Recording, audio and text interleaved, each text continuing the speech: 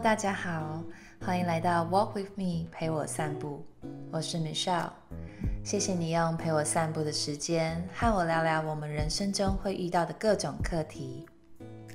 这个节目主要会分享我生活中的所学与所知，包含育儿啊、感情、婚姻经营、运动、饮食，以及对身心灵的体悟等等。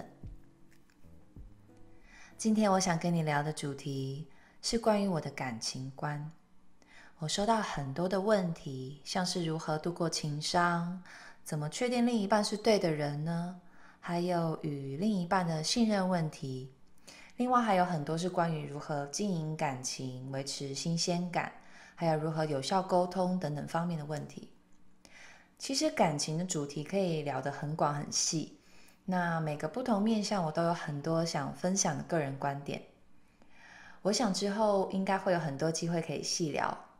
那因为今天是第一次和大家在 Podcast 聊这个主题，所以这次我就先聊聊我自己的感情经历，还有这一路我是用什么样的心态来面对情伤，以及我如何透过一段一段的感情，慢慢找到对的、适合自己的人。还有我在每段感情中所学习到与改变感情观的过程。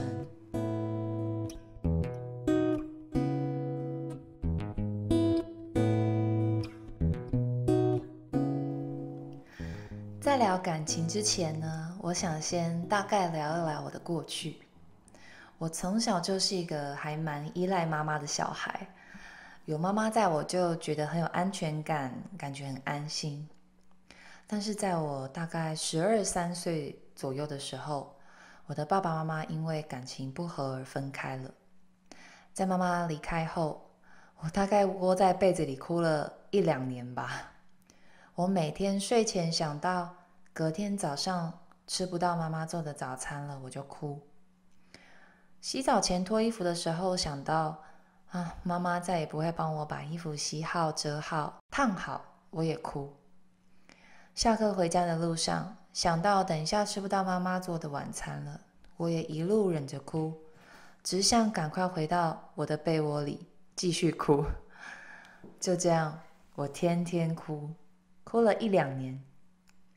有一天，我突然觉得真的哭够了。当时我姐对我说了一句话，她说：“不要可怜自己，世界上比我们更可怜的人多的是呢。”这句话让我决定不要再哭了。人生还很长，我要独立坚强才可以。再这样哭下去的话，难道我要哭一辈子吗？那是我十三、十五岁左右所体会的道理。但其实我心里知道，我还是一个很依赖人疼爱与陪伴的小女孩。在我十六岁的时候，我遇到了我第一个男朋友。他是学校的学长，他非常非常的照顾我，午餐会买饭给我吃，下课后会陪我逛街，快考试了会陪我念书，周末会找好看的电影带我去看。在那段日子，是我在父母离异后最感到活着与快乐的一段时光。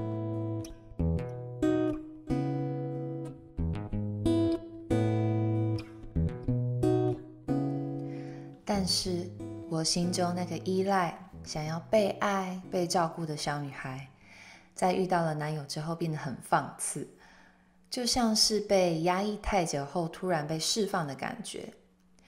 我变得很任性又常情绪化、生闷气。幼稚的我总觉得对方应该要能够理解我的全部，了解我的全部。那这个男友他真的很爱我，很照顾我，也很欣赏我的优点，也很包容我的缺点。但是在我们交往第三年的时候，我发现他背叛了我。故事大致上是他在某一个暑假脚踏两条船了另外一个女生。那他们在交往了两个月之后，他因为受不了良心的谴责而，就跟那个女生分手了。而我居然是在他们分手后，才因为朋友爆料而发现这件事情的，整个非常的后知后觉。但是这件事，我想就轻描淡写，不再多加细述了。因为在我想通了之后，我并不全然的责怪他，反倒像是被当头棒喝、被打醒了一般，惊觉我才一直是破坏感情的那一个人。当然，这个过程非常非常的痛苦，痛苦到让我短短三天就瘦了五公斤，在那短短一个月之内。我真的是像行尸走肉一样的过生活，分不清日夜的哭泣，然后那个感觉就像是觉得我的依赖支柱垮了一样的一般痛苦。后来我真的是花了很大的力气去疗愈以及想通这一切。感情是互相的，感觉是双方面都有责任的。当然，道德底线是这个社会给我们的基本规范。但是如果没有了这个规范，所谓出轨啊、劈腿、背叛，说到底，也就是我们对彼此的感觉已经不够完美、不够平衡了，严重失衡到会让另一个人去做违反道德的行为。我想我也有责任。当然，我并不是在为劈腿的人说话啦，劈腿啊、背叛绝对是错误的行为。但在这里，我想通的是。也许每个人都有感情的课题要面对。我前男友应该要面对的是为坦诚自己的感觉负责，因为他不敢负责，不敢做选择，所以做出了背叛我、脚踏两条船的这件错事。而我该学习的课题，则是我不该单方面的认为对方疼爱我、照顾我是理所当然的。他爱我，但同时也爱得很有压力。所以感觉不对了。在这之中，我认为这段感情中我没有办法百分百的不留遗憾。如果可以重来，我还有很多想改进的地方。基于这个理由，我原谅了他，并且愿意和他重新开始。当时有很多的朋友都骂我傻、笨啊，男人会背叛一次就会背叛你第二次、第三次。当然，那个时候才十几岁的我，内心也是充满着各种不安。但我当时非常坚信，我是为了给自己学会好好爱的机会而原谅他，而不是因为太爱他而选择原谅。毕竟小时候就经历父母离异的我，我想我根本都还不懂到底什么是爱。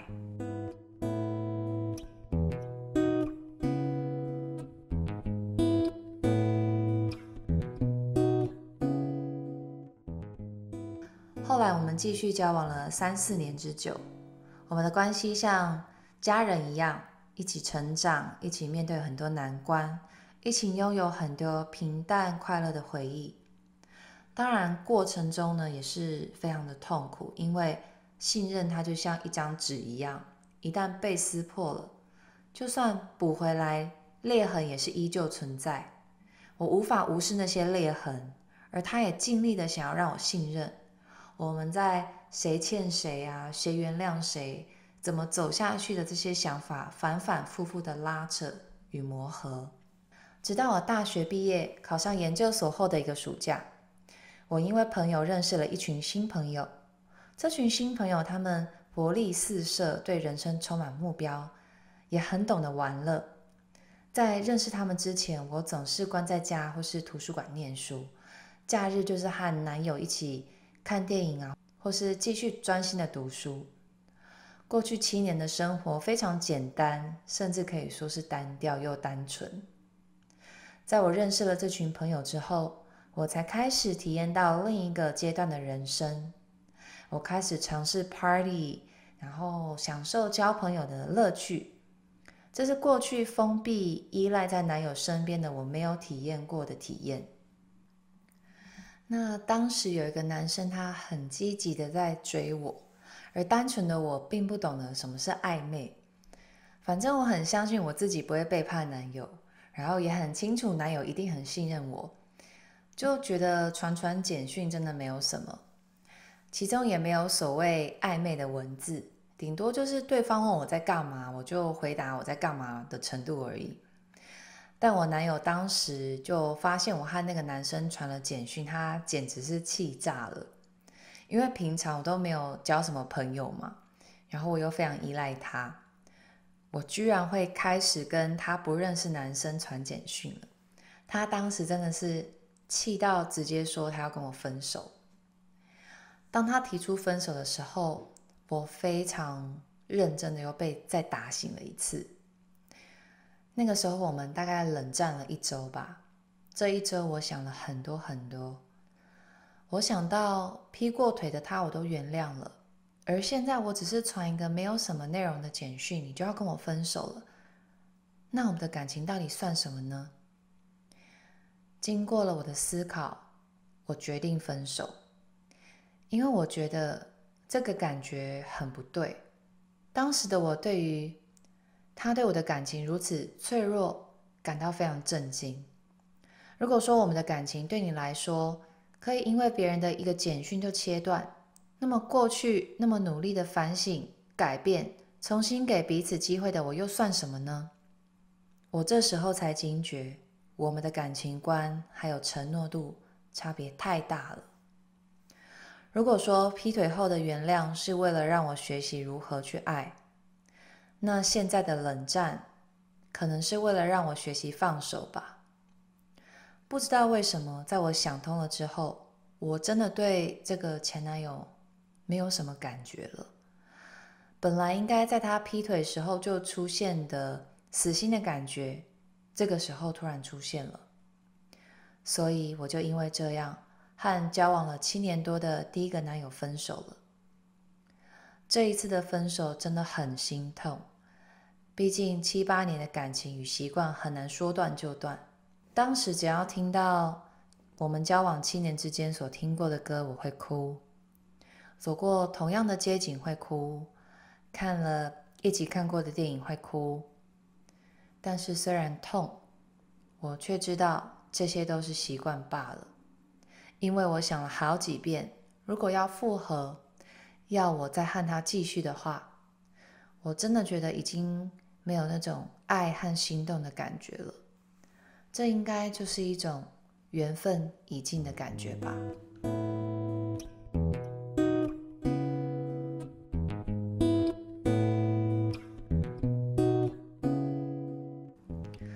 后来，这个传简讯的男生他非常积极的追我。分手后，我脆弱的就像父母离婚的时候的我一样，心里空荡荡的。不知道要怎么被填满，所以我后来没过几个月就和这个男生交往了。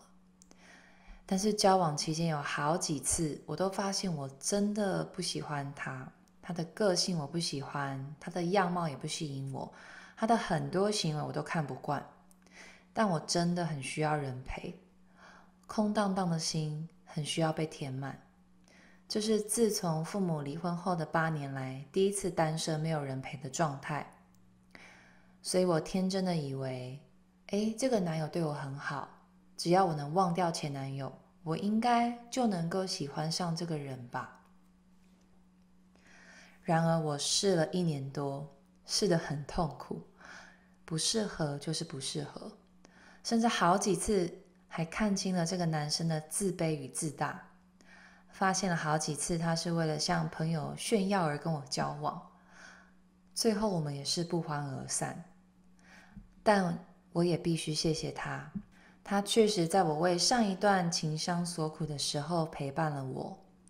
不论他是不是真的爱我，或是他的动机是什么，他真的照顾过我，陪伴过我，也教会了我另一个课题：不适合的人再怎么勉强都不会适合。也因为这段辛苦，强迫自己去爱一个不喜欢的人，让我能更感激前男友。更释怀前男友，我想下一个男友会更适合我。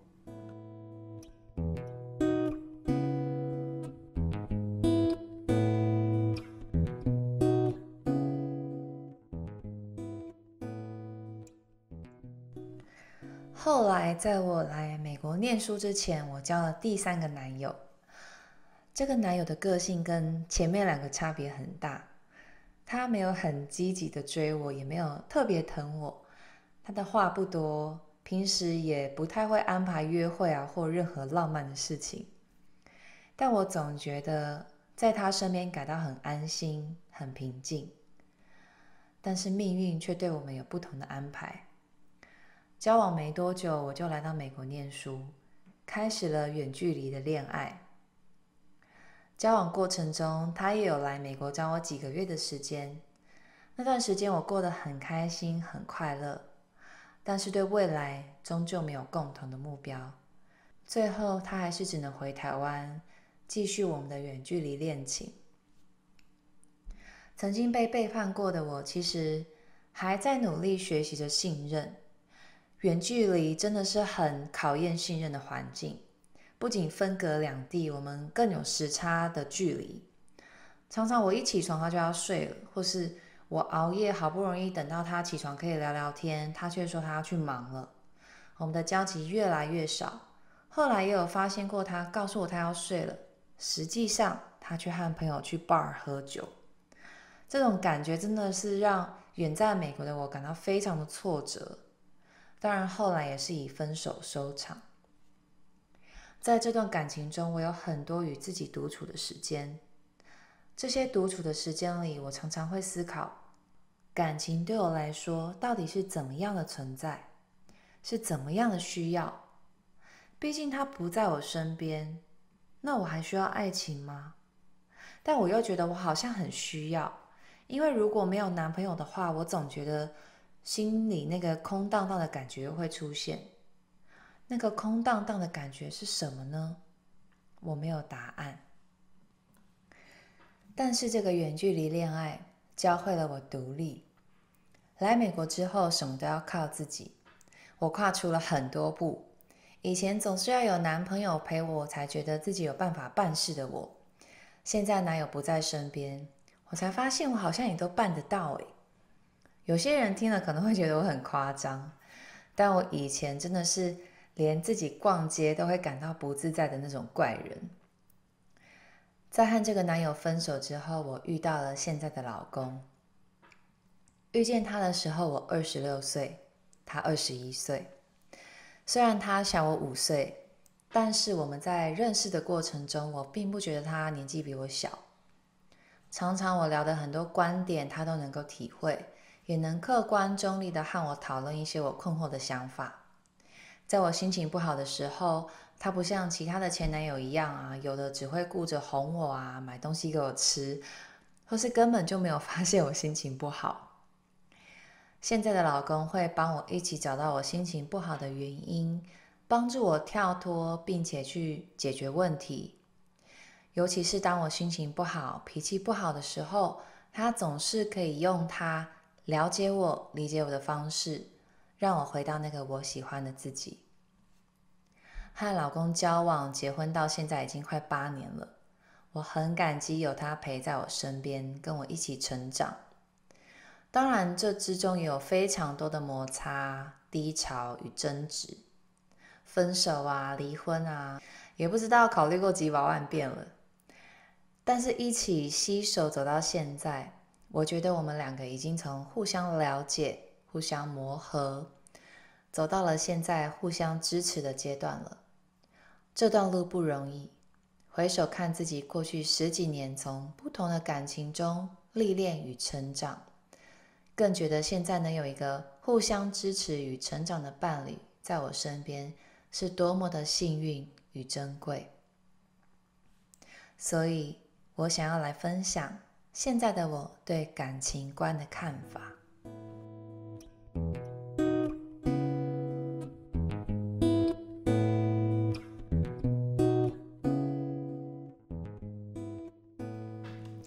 首先，我认为在找到适合自己的伴侣之前，势必会有一些坎坷的情关要走。走过情关需要很大的勇气，因为谁都想要一辈子幸福快乐。谁都不想要在爱中受伤，但是如果没有受伤，没有醒思，没有体悟，你又怎么会知道什么样的人适合你呢？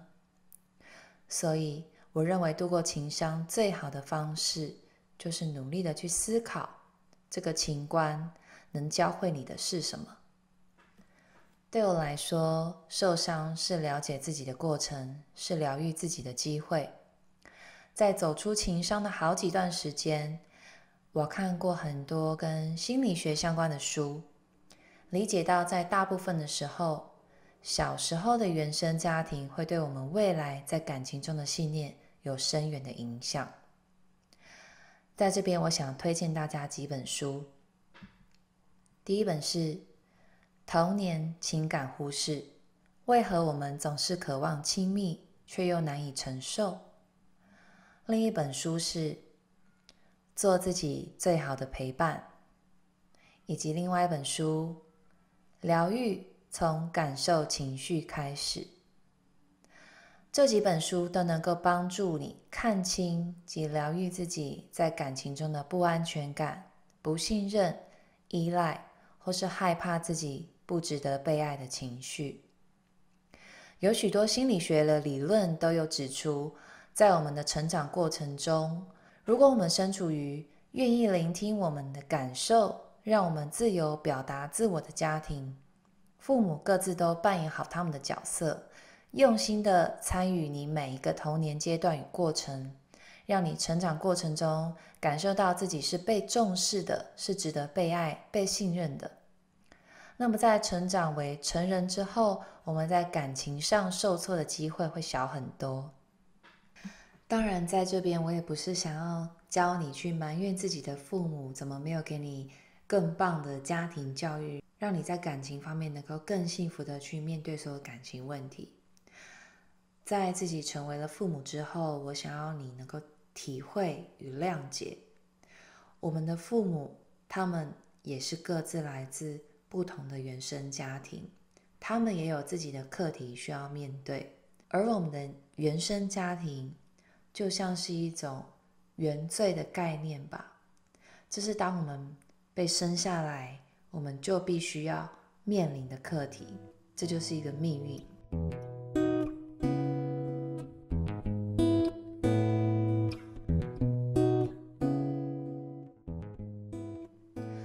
而我们在原生家庭受的伤，影响的人格及对感情的信念，是决定我们未来感情幸不幸福的关键。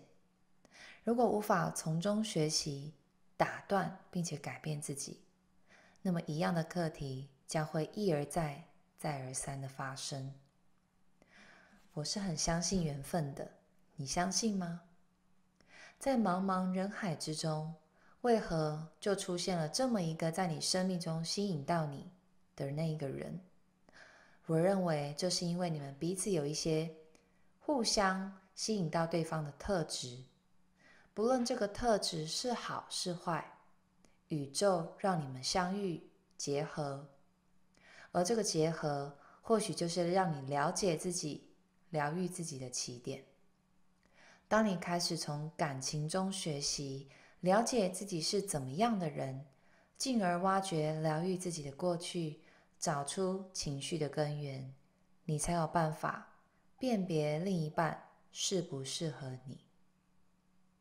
回头看，十几岁的我，因为父母离异，转而依赖了男友，后来被劈腿了，才惊觉自己太过依赖，也看清了这个男友当时有不敢面对自己的感受。不敢为选择负责的特质，而我在学会不依赖之后，才发现彼此不适合的地方很多，心动的成分并没有我想象中的多。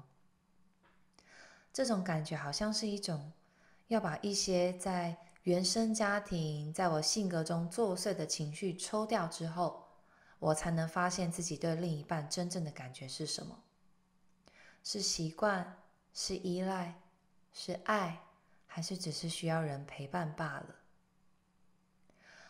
这几段感情让我学习到，不要在需要人陪的时候陷入一段感情，因为付出爱绝对比单方面接受爱还要幸福多了。这段时间也让我学习到了感情独立，让我发现感情应该是一个人可以很好。再加上一个人可以更好，两个人有共同的目标，能包容彼此的缺点，加成彼此的优点，对彼此都很重视承诺，彼此不适合的地方都能够找到平衡点，这样的伴侣才值得互相陪伴，而不是两个不了解自己、不爱自己的人，互相在彼此身上索取爱，或是互相埋怨、互相伤害。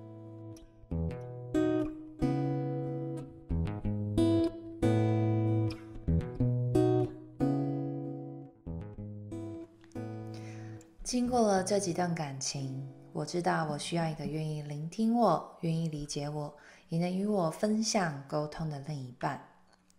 我也知道我另一半的灵魂特质要能够让我有心动的感觉，要能够让我有想为他付出的感觉。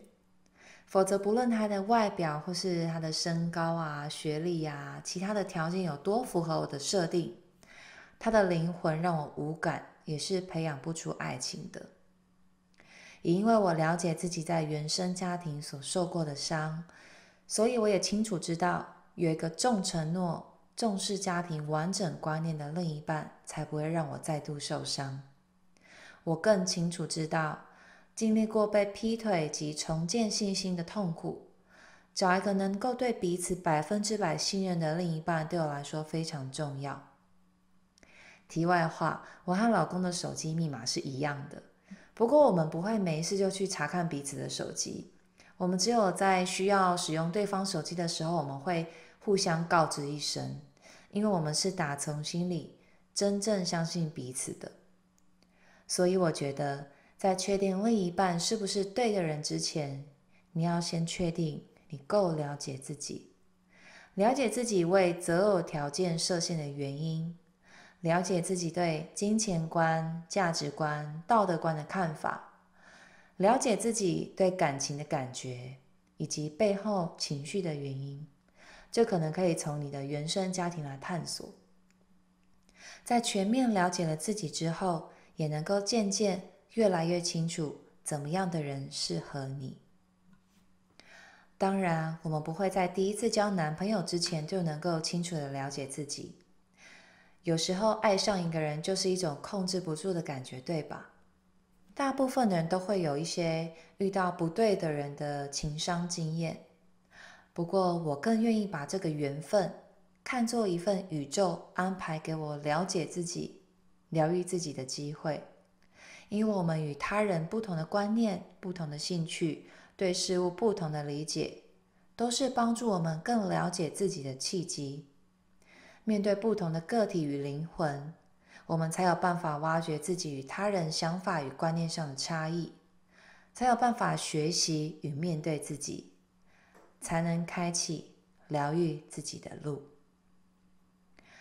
最后，我想送你一句话：人需要伴侣，不应该是因为单纯的需要，而是这个人能不能和我一起体验生命的美好。一起变好，一起成长。如果只是需要人陪伴，那么情商会一而再、再而三的发生，课题会永远存在，直到你面对与疗愈自己为止。做自己最好的陪伴，真正的了解自己，才能够找到和你一起变好与成长的另一半。希望你会喜欢今天的 Walk with me，陪我散步。祝你有个美好的一天，我们下次再见。